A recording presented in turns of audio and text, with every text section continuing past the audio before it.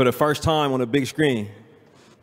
Namor the Submariner, played by Tenoch Yeah. Huerta.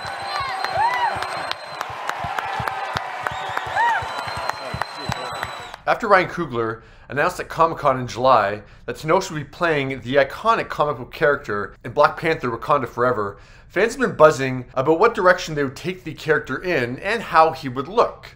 Now, we did get some glimpses of Namor in the 126 second teaser that was unveiled at Comic Con.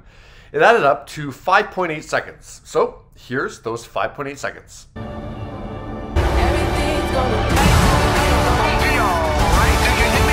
Now, sure, you could create stills out of the trailer and stare at those, but Empire Magazine is going to help you out.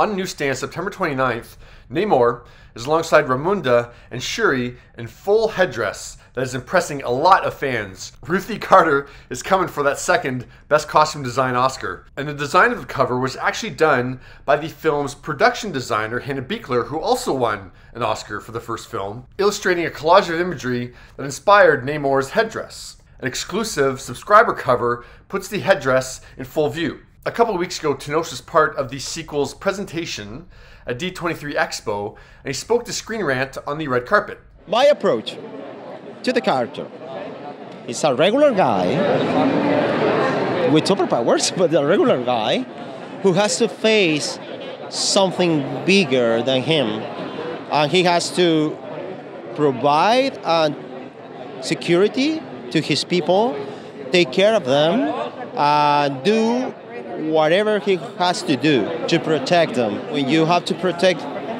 you the people that you love you do whatever you have to do and that's happened with him and maybe it's rude maybe it's, it's, he goes too far but it's necessary to keep them safe Sounds ominous. I don't know anything about Namor, but it seems like from the online chatter that people are very impressed how he looks, and they're like everything is happening so far with yeah what they're learning about the character, which is pretty rare in the comic world. But what are your thoughts?